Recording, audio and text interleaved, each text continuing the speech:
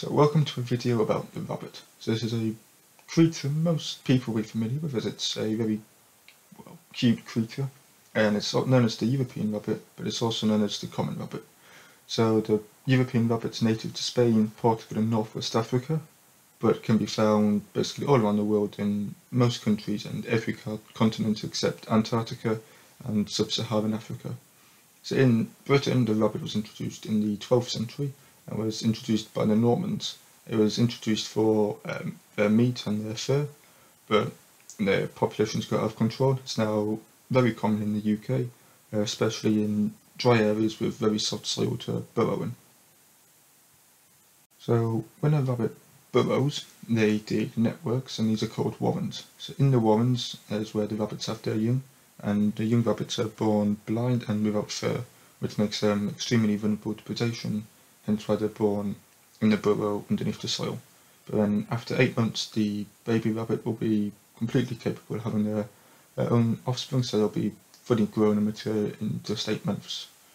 Um, rabbits also don't have a particular breeding season, so they young throughout the year, and in each individual litter they can have up to six uh, baby rabbits.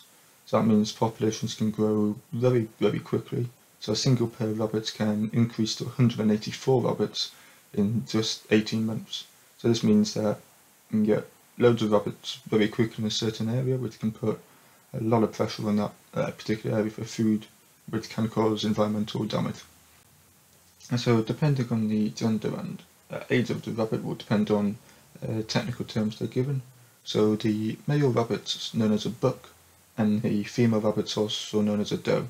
The older rabbits are also known as conies. So the rabbits weigh between uh, one and a half and two and a half kilograms, and they can grow between 38 and 50 centimeters long. So they're not heavy creatures, they're not quite big creatures.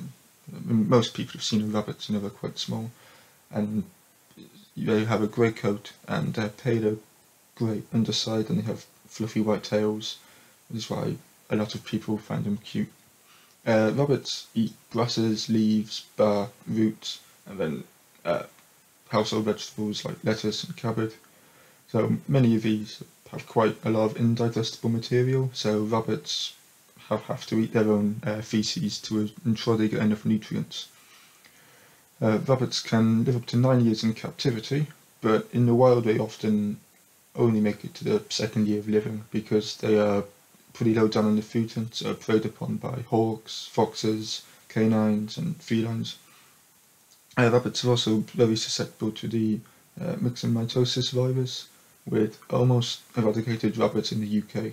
So in the 1950s, this virus reduced the rabbit UK rabbit population by approximately 90%.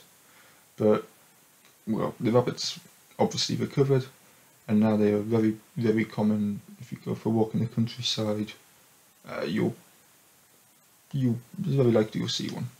So when they sense danger, they'll uh, thump the ground with their hind legs, and this basically tells all nearby rabbits that danger is coming, so tell them to run or hide.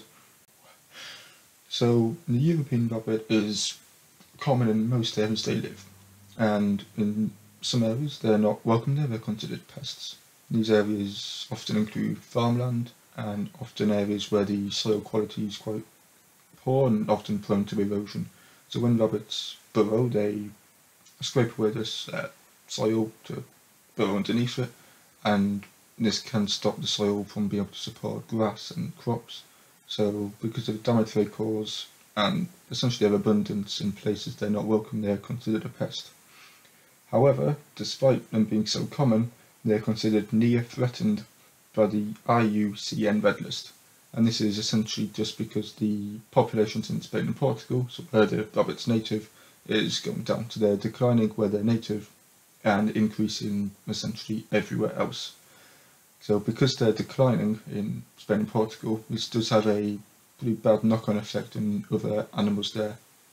So predators like the Spanish imperial eagle and the Iberian lynx are also uh, suffering in population uh, abundance appear because one of their main food sources is decreasing.